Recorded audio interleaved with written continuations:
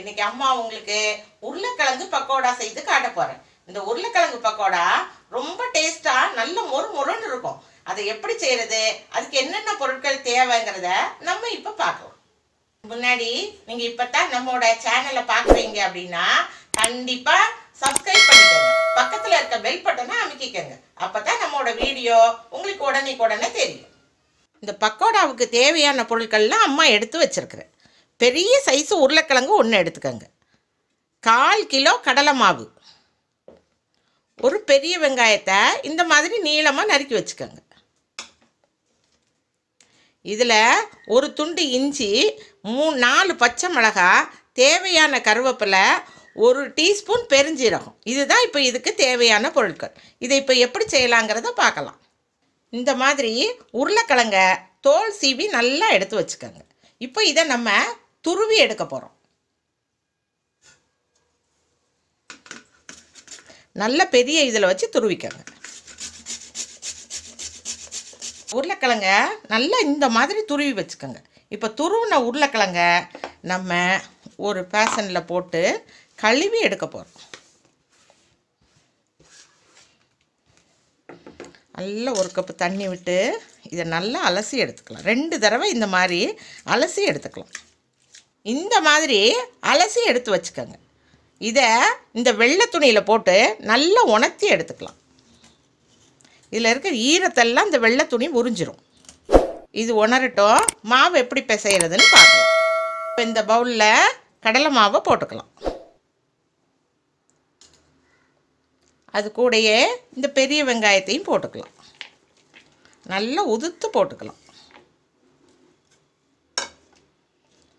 இப்போ இந்த சோம்பு இஞ்சி கருவேப்பில் பச்சை மிளகாய் எல்லாம் சேர்த்துக்கலாம்.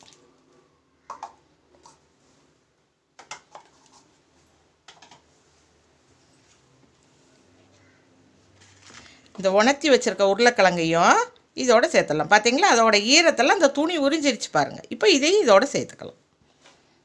இதுக்கு தேவையான உப்பு சேர்த்துக்கலாம்.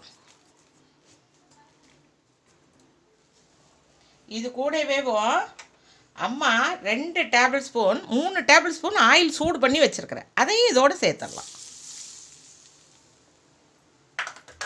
இப்போ இதெல்லாம் சேர்த்து நல்லா கலந்து பிசைஞ்சுக்கலாம்.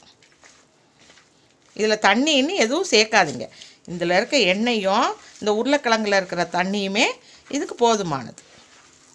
இந்த மாதிரி நல்லா பிசைஞ்சு எடுத்துக்கோங்க. அம்மா அடுப்பில் கடாய் வச்சு ஆயில் விட்டு வச்சுருக்கேன். இப்போ ஆயில் நல்லா காஞ்சிருச்சு. இப்போ நம்ம இதை போட்டு பொரிச்சு எடுக்கலாம். இப்படி கொஞ்சம் கொஞ்சமாக போடுங்க.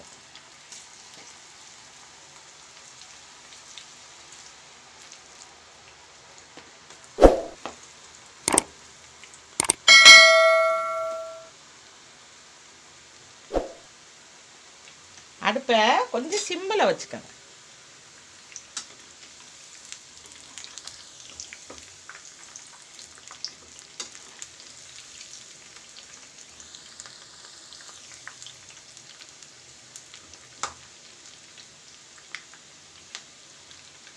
நல்ல ஆயில் காஞ்சதுக்கு அப்புறமா போடுங்க. அப்போ தான் நல்ல மொறு மொறுன்னு கிடைக்கும்.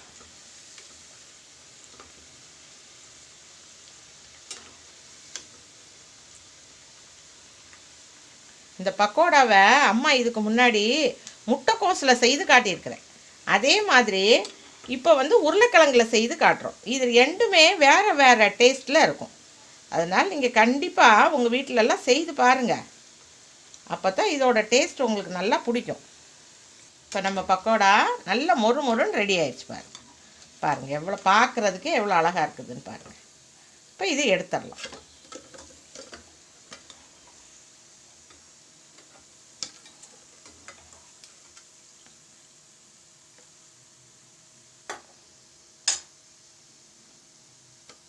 இதே மாதிரி எல்லா பக்கடாவையும் பொரிச்சு எடுத்துக்கலாம். பக்கடா எல்லாத்தையும் இந்த மாதிரி பொரிச்சு எடுத்து வச்சாச்சு. பிள்ளைங்களா இன்றைக்கி அம்மா உங்களுக்கு உருளைக்கிழங்கு பக்கோடா செய்து காட்டியிருக்கிறேன். நீங்கள் நீங்கள் இந்த லாக்டவுன் சமயத்தில் வீட்டில் வித்தியாசம் வித்தியாசமாக இந்த மாதிரி செய்து கொடுத்தீங்கன்னா பெரியவங்க குழந்தைங்க எல்லாரும் சந்தோஷமாக சாப்பிடுவாங்க. நன்றி.